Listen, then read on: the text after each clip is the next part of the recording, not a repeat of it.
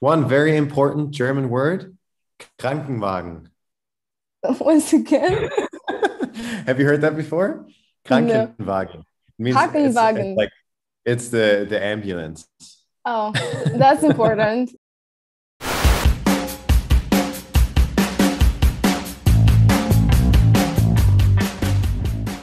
He says, If you truly love me, then do what I commanded you to do, which is, for example, preaching the gospel, which is healing the sick. And then the, the Holy Spirit honors that and just comes upon us. That's really important what you say because this is the time when we really need to start preaching the gospel like crazy. Yeah. 100%. Because the harvest is so ripe. yeah, we don't know how long it's gonna be since the world is over actually. Like I I have no idea, but like it all looks really scary. I'm not like mm-hmm. the apocalypse person, but you know, it's it's time because people are there are so many mental illnesses right now so much mm. depression But yeah, like like you said, you know, like the, the harvest is so ripe. Even even during this corona pandemic, suddenly we don't have anything. There's no security in our finances anymore. And um, even in our jobs, there's there's nothing we have left other than Jesus himself. And people are just craving for encouragement, for love, for affection. And it's crazy. Like I've been I've been preaching the gospel i get to preach the gospel so much lately and and i literally don't get any rejection which i've never experienced before for like wow i think two months i haven't gotten any rejection it was always like either like obviously either they smile and then they walk off but it was never like a, any harsh rejection of like no get away i don't want to hear anything they were always really kind and and, and thankful actually that i would speak to them about Jesus. And um, it's just crazy to see what God is doing right now in our nations, in Europe. You know, like the harvest is so ripe. It's ridiculous. like this is really encouraging to actually do a step one step more and to go to the street because like i i am preparing myself to go to the street to preach again because i had this excitement after todd white conference and we did Yeah. uh, some with my friends we did some walking in the city center and and asking people if they are sick and if we can pray for them and we were really shocked like they, that they were really healed you know Yeah. we were like okay whatever we're gonna pray we're gonna make fool of ourselves let's do this and then somebody is saying my back pain is gone and Wow. were like wow we didn't really expected it to be so fast Pretty crazy when you start to realize that the Bible is actually true, you know? yeah but I told I totally hear you. Like sometimes it's like, like I said, it's like I grew up with this with the Bible every day. Like I, I was reading it. Like I, I know the stories of the Bible, but then when you actually experience him personally, when he becomes so real, you're like, oh my goodness, now it all makes sense. And and like how could I live for anything but for you? You know, like there's there's nothing more satisfying, there's nothing more important than to just fully surrender and and be with you and live for you and uh but yeah yeah it's it's crazy. It's crazy. He's actually really working. Yeah. the bible is actually true. Yeah so we have to like go out from our comfort zone. Like for me it was like every time i i went to the street i had to like break something in me to start talking with people but then you, you always see his presence and his glory. That's true. But also my favorite moments is when you know like when you go grocery shopping or something like that and you just tell the cashier or someone someone in the grocery store hey i, I just quickly want to tell you that jesus really loves you and he cares about you.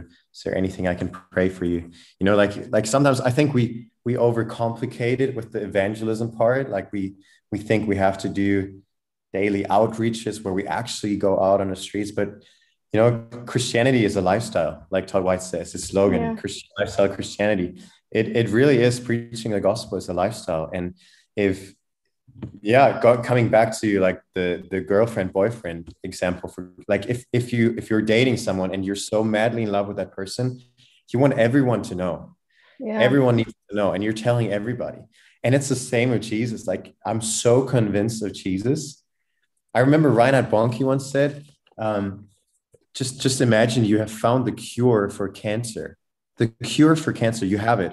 And your best friend is about to die from from cancer. Like of course you're going to give it to him. Of course you're going to tell the world because you got the cure to this terrible terrible disease. And we have the solution. We have the cure to this this terrible terrible thing called sin t- called eternal punishment. And it's it's jesus. And we actually we have to preach the gospel. Yeah. We have to we have to tell people about jesus. He's he's so worthy. Yeah i was talking with my friend today about this story with this uh, with this guy who couldn't walk and he was by this bethesda pool for 38 mm-hmm. years. And when i was watching it lately in the chosen series and they mm-hmm. they showed the whole story about like how this guy became uh, how do you call the person who cannot walk? A, like a lame person? Yeah lame person yeah. So how he became lame and like the whole story when he was at this pool and trying to get there and people like kicking him off so he couldn't get there and they were before him and how he became depressed because like he was just sitting there and waiting to die. Mm. and and then jesus steps in and asks him if he wants to be healed. And it, it really touched my heart because how many people around us are waiting for this healing for like 20 20 30 years you know? And they are just going to some witch doctors. They're going to to normal doctors and they're trying every medicine and they try mm-hmm. to pray and nothing works. And then they need jesus to walk in. This is something that really like ignites my heart that i want to touch these people. I want to be those hands of jesus who will actually touch those people and they're gonna be oh healed. I'm getting emotional. Okay. Uh, oh, we we don't have much time left but uh, if you would like to tell us some crazy story what god did for you or some like miracle story some adventure with with mm. jesus so we can be encouraged that it can also happen to us there's oh my goodness there's so many so many crazy stories and um I'm thinking of this one particular encounter that I had a couple of years ago. It was actually after a one of our church services, and um, I didn't manage to get into the main auditorium because it was so so packed. I was sitting in the overflow room, and um, and I remember we were walking into the overflow room, and I was a bit like sad, disappointed because like I want to be in the main auditorium, like I didn't want to just watch the live stream, but um, one of my friends said, "Oh, in the overflow room, the the Holy Spirit always flows over. Like he always goes crazy in the overflow room." And so I was like, "All right, let's let's see what happens." And then suddenly, like mid service, mid sermon, I think the, the the preacher wasn't even preaching about the Holy Spirit. Suddenly, the Holy Spirit just broke out like crazy, and people front and left, right and right and left, front and back got completely touched and wrecked by the spirit. Like this one guy starts shaking like crazy the other guy starts starts laughing starts crying and everyone is getting touched in that room except for me. Okay. and i was just sitting in there and i was like okay what is happening here? I'm so confused. God why are you not encountering me? Um, i just like i want to feel you as well. And so service is over and we're getting into the car and we're actually driving to some of our friends. We it was a night of um, there was a lot of shooting stars and uh, we wanted to watch the shooting stars. So we went to this field with a, a couple of our friends. And on the way there, suddenly, like the Holy Spirit starts to, to bubble up in me, and I start to feel the Holy Spirit coming up in me. And suddenly, like from top to bottom, this electric power starts to hit me in the car. And it was so crazy. It was so life changing for me. I've never felt him like that ever. And I was just shaking. I like I couldn't control myself. And so we got there, and my friend um, dragged me out of the car. Like he, I think he like, yeah, he he was holding me or something and carrying me to our friends. And then suddenly, like it would stop. Suddenly, suddenly the power stopped. And then I felt the Holy Spirit say to me, draw near to me, come away and draw near. And so like I walked a bit off, um, I walked walked a bit away from my my friends, and I would just kneel on the ground in the middle of this field, and I would just wait and rest in in the spirit, and I would just wait for like five minutes, ten minutes, fifteen minutes, and suddenly like I could just feel his presence coming even stronger now, and it was honestly it was like a flash, like a lightning hitting me from top to bottom. And I was I was out. I was like gone. I've never felt the tangible power and presence of God like that ever. To this day actually. It was it was so defining, so life-changing to me. And then my friends started like walking up to me and they were like checking on me, "Hey, are you okay? What what is happening?"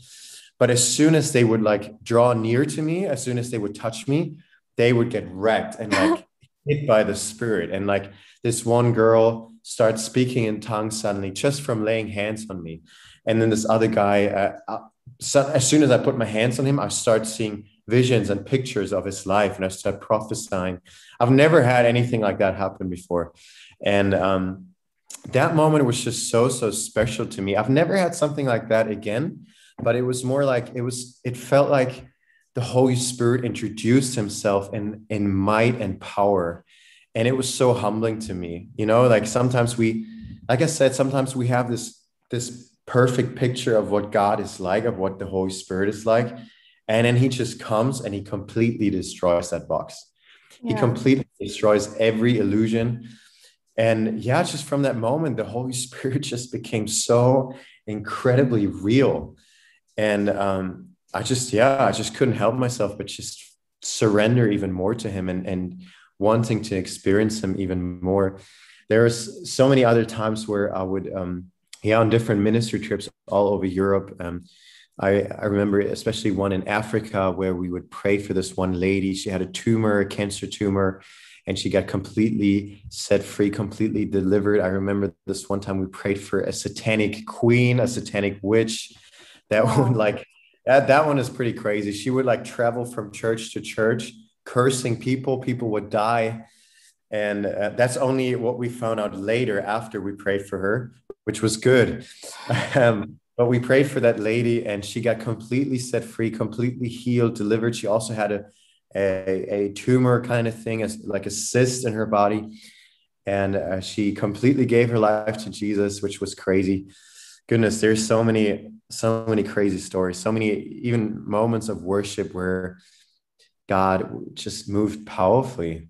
But um, yeah, those two moments are pretty special to me. And it's amazing that you said like the first story you shared that you were touched not at the meeting with the anointed preacher but yeah. you you were touched like alone with the lord with your friends like watching stars and yeah. this is something really special because as I said before, sometimes we expect that we will be touched at this conference, but by yeah. this anointed preacher from the US or from somewhere else from Africa. But we actually can meet the Lord in our secret place. We can yeah. meet him alone in the forest or like in our bedroom. And yeah. this is amazing because like we need we don't need a special person. We just need to like we need to be hungry for him and Not sure.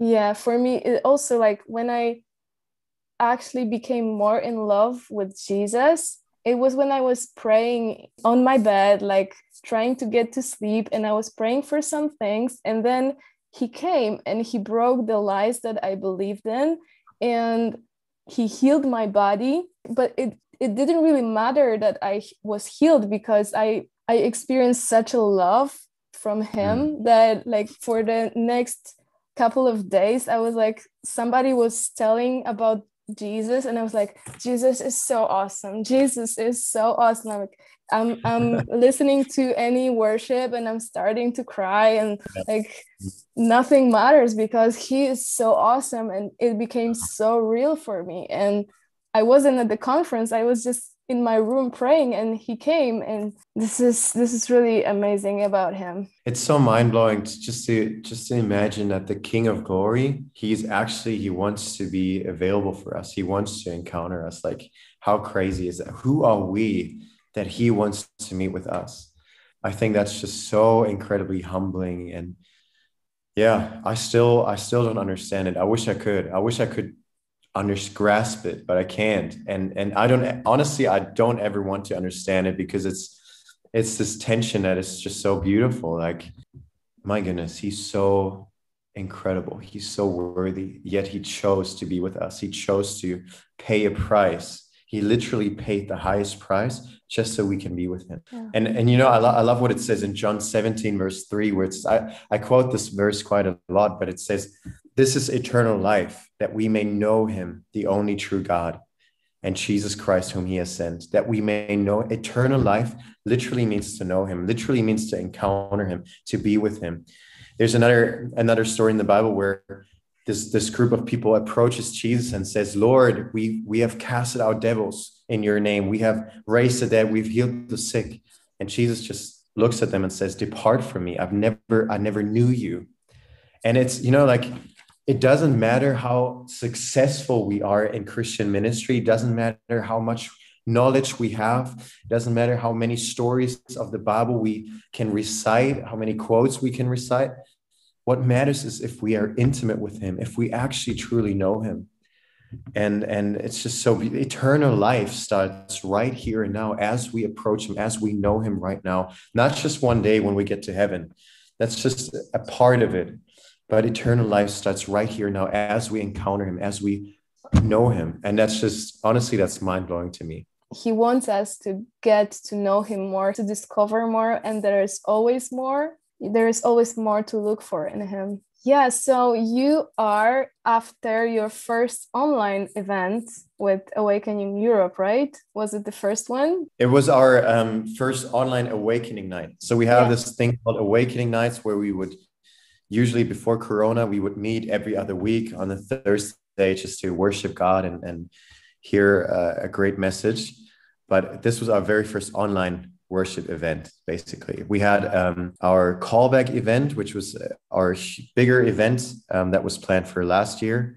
We did that online as well but this was our first online awakening night yeah. Yeah so do you have any testimonies from people watching i got a ton of messages from people saying that they got super blessed super touched um, that the Holy Spirit just like radically walked into their room as they were worshiping, as they were listening to the message.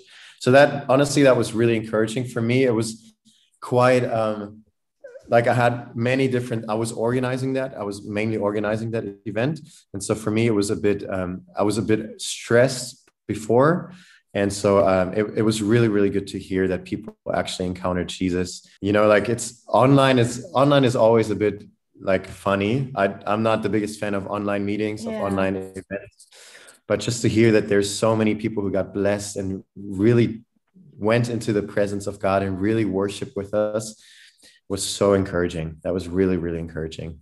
That's yeah. cool. I, I was always hoping that Awakening Europe will finally come to Poland to do come a on. big event. Yeah. Yeah. Come on. Come invite us. We would love to come.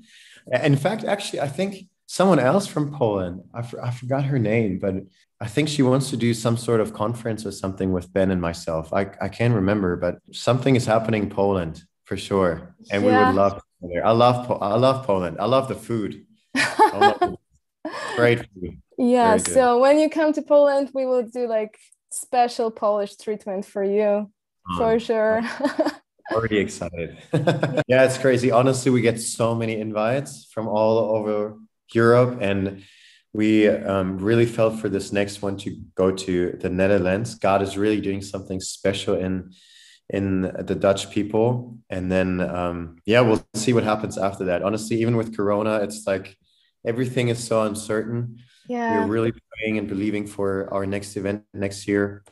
But uh, honestly, would love to come to Poland, even if it's not just a big stadium event or whatever, but just to like maybe for a conference or something, we we always love to travel and love to be yeah. with the people. Is there something that you would like to share to people watching in Poland, but also as I know we have some listeners in South Africa and and in the US. So is there something that you would like to share like out of what we were speaking yeah even as i was like preparing a bit for today i really felt from the Lord to remind us to stay present and to not get distracted in this season.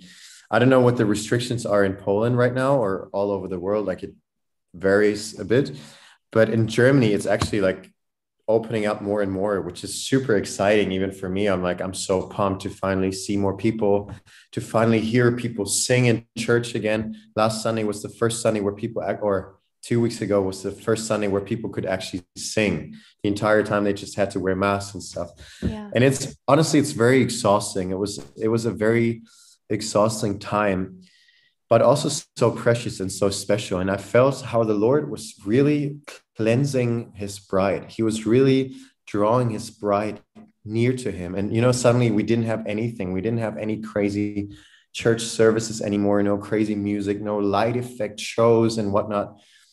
But suddenly it was just us and the Lord. And and for me it was honestly one of the most important and most most powerful seasons in my life this whole corona time because i got so much time just to be with him just to get transformed in his presence but i really felt from the lord to use this time even now as everything is opening up more as everything is trying to get back to normal to not get lost in that to not get lost in that excitement, but to actually stay present and stay focused because it's so easy to distract yourself. Even in my own life, it's so, I, already feel like I want to do, I want to hang out with all of my friends again. I want to do this. I want to travel. I want to do this and that. I really need to make sure that I'm, I'm focusing on Jesus. And, and just because Corona rules and restrictions are changing, that doesn't mean that this is giving us hope. You know, Jesus is the hope of glory. He is hope himself and we need to choose him over and over again and and i really believe that we're on the tipping point of revival i actually believe that we're already in the midst of revival and god wants to break out in our nations like never before but we need to be ready for that. We need to prepare ourselves for that and we need to keep our hearts pure and, and clean and and fully engaged fully present. I love i love this this picture in malachi 3 where it talks about gold being refined. You know like gold needs to in order like you need to treat gold correctly and you do that by by heating it up refining it and and that way all those dirty metals get off that gold you can just scrape it off but it needs to be hmm. heated it needs to be very very hot you need to refine gold and and i sense the same like this this season feels like a season of fire it feels so uncomfortable so exhausting so annoying but it's so important. And we need to use the season correctly. We need to dig deep into the word. We need to know what the word is saying. We need to know the gospel and we need to know him in our secret place in, in, in intimacy. And, and that way we, we prepare ourselves for when Jesus is coming. That way we prepare ourselves when revival is going to break out and people are getting saved left and right all over Europe. And I really felt to encourage especially the Polish church and and everyone who's listening. And to be honest, I'm I probably encourage myself the most because it's so easy to to get distracted with all yeah. you know, even with Christian things, with holy things, with ministry things, like traveling, preaching in different churches. Like it's exciting as long as we stay present and as long as we stay intimate and pure with with Jesus. That's the most important thing. Yes, amen. Amen. This is actually what the Lord spoke to me uh, this weekend. And He spoke wow. to me personally that this is time for intimacy. Like in Poland, mm-hmm. it also everything is opening up, but I feel like the Lord is inviting me again to this place of to this secret place, the place of intimacy wow. with Him and like going deeper in His presence and what He wants to speak to me to my heart like when i'm when i'm alone yeah. So this is this is really oh. important. And what you said about this gold we were also talking about it like with the the prophet guys that i interviewed before. Okay. and and this is amazing because like last two months for me for people i know it was like crazy like tensions and stuff like this. And like lord what's going on like we thought we were doing everything right and i feel like everything is shaking under our, feet like and i know that was that's the season of like those birth pains that are mm-hmm. coming before the revival like the, the lord is um, starting to birth something new on earth as you said this this revival coming and mm. like all the things that are shaking like it's the enemy who wants to stop it but it's also the lord who wants to like prepare our hearts and show us like in which place our heart is. So when mm-hmm. something wrong is happening you're like wow lord do you hate me? What's going on? You know but it's actually an invitation what's going on in your heart and deal with it because I want something more for you and you, you have to be prepared. You have to not like go crazy when all those things are happening. And I'm I'm actually preaching to myself right now. that was really nice talking to you. I, I really yeah. enjoyed it. I am I am encouraged. I feel the presence of the Lord. So if you would like to pray for Poland or for our listeners right now, and then we would finish and say goodbye. Absolutely. My pleasure. Thank you, Father. Thank you so much for just this opportunity, even now, to, to speak about you, God. It's, it's honestly the greatest joy to talk about you, to talk to others about you, and to share about what you have done in our lives, Father. You have been so merciful, so kind, so gracious. And it's Father, it's the greatest privilege just to worship you, just to be in your presence. Just the fact, like we said, just the fact that you are available, you're accessible to us. We get to touch you. How mind blowing is that? This King of glory, so strong and so mighty. Who is this King of glory? Who is this King of glory? Thank you so much, Father, that you make yourself known to us. And so, Father, I thank you for the country of Poland. I thank you for every listener um, from Poland, for every Polish listener, Father. I pray that you would come and touch every single one of them. Come and touch them radically, Father. I pray that you would stir up a hunger inside of them. Father, I pray that you would draw them so near to you. Draw them, Father. Draw them. I really, I really sense this, this word draw draw near. I really want to encourage you guys, every single one of you who's listening, draw near to him. Come away with him. Draw near to him. Just be alone with him. Be alone with him. He longs and desires to be close to you. And Father, I really pray that you would stir up this hunger for a deeper intimacy, this hunger to be with you in the secret place. Stir it up, Father. And not just so we can keep it for ourselves, but so we, we are the light of this world, so we can be the salt. We can be the light, Father. We are the city on a hill.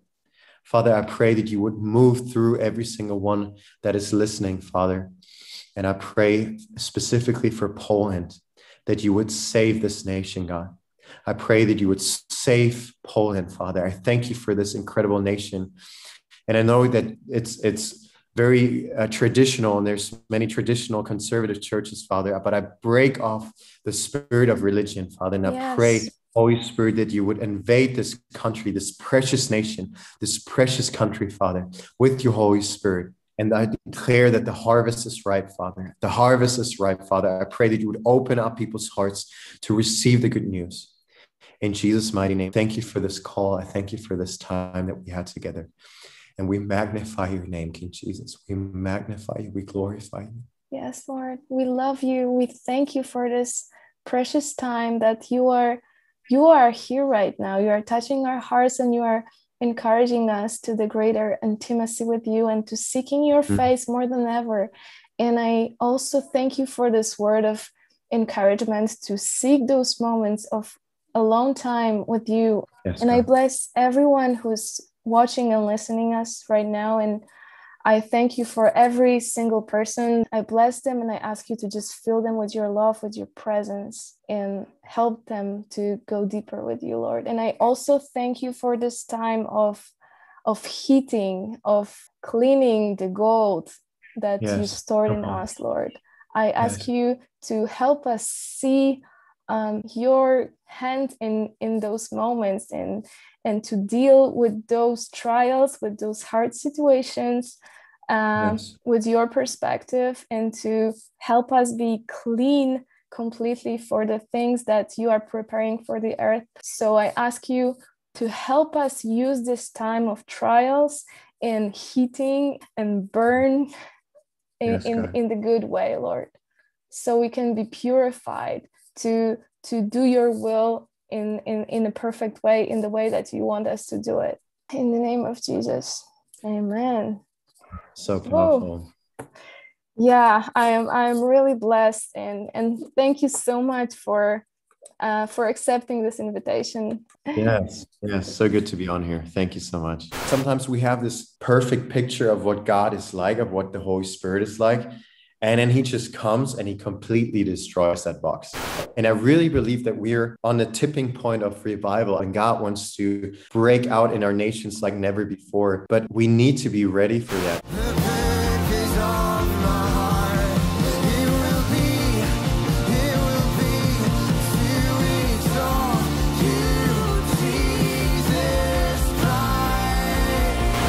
Polish and German is pretty similar, isn't it? Lots of like sausages and meat and stuff